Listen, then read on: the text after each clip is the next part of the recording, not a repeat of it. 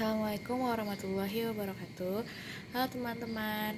Hari ini adalah vlog pertama aku Membahas tentang tanaman.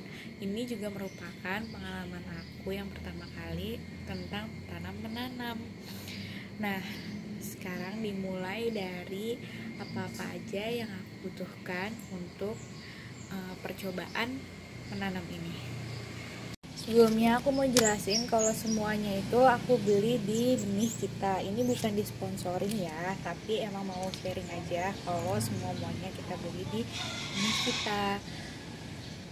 Nah, yang pertama ada media tanamnya. Media tanamnya ini adalah campuran dari tiga bahan. Untuk bahannya apa aja nanti akan ditulis di samping sini. Nah, untuk harganya itu 12.000 dengan isi kurang lebih 5 kilo yang nanti bisa dipakai untuk sekitar 5 sampai 10 polybag ukuran 30 kali 30 aku juga beli tray semai tray semai itu kan ada banyak macamnya.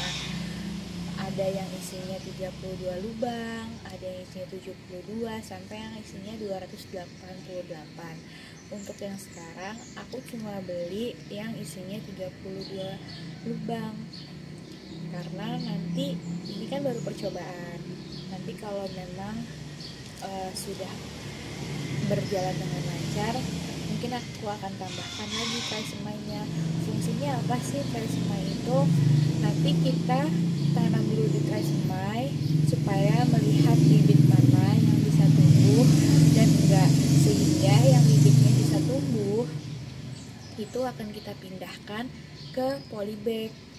Di sini juga aku beli tatakannya harganya mulai dari 12.000 sampai 15.000 tapi tatakan dan tray semuanya dijual terpisah.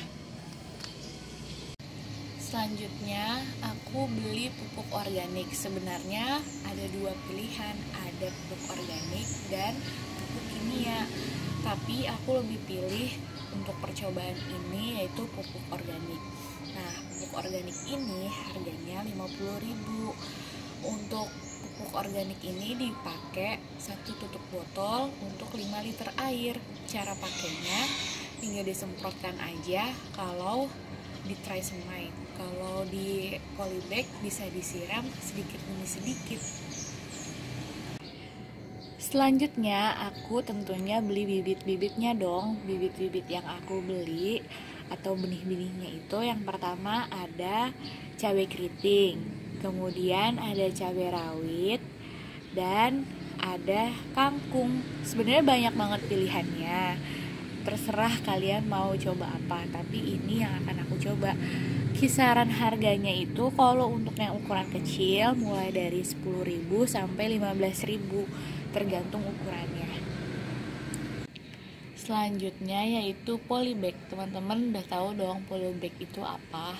Nah polybag di sini aku beli yang ukuran 30 kali 30 itu sih sudah ukuran standar ya biasanya. Cuman kalau teman-teman mau ukurannya lebih besar atau lebih kecil di sana juga tersedia kok. Oh iya ini harganya kisaran 10 sampai 15 ribu. Selanjutnya yaitu label. Nah, label di sini fungsinya untuk menandakan tanggal berapa kita mulai tanam bibit atau benih kita. Nah, ha untuk harganya kalau yang seperti ini 15.000, tapi ada beberapa pilihan label yang kalian bisa lihat di Google dan kalian juga bisa lihat di websitenya benih kita nah kurang lebih begitu teman-teman. Yang udah aku beli untuk alat-alat kita berkebun atau bercocok tanam. Untuk next videonya aku akan coba untuk pakai si tray semainya dengan bibit cabai nanti aku akan jelasin gimana cara-caranya dan uh, gimana si bibitnya itu berkembang atau enggak. Sampai ketemu di video berikutnya. Assalamualaikum warahmatullahi wabarakatuh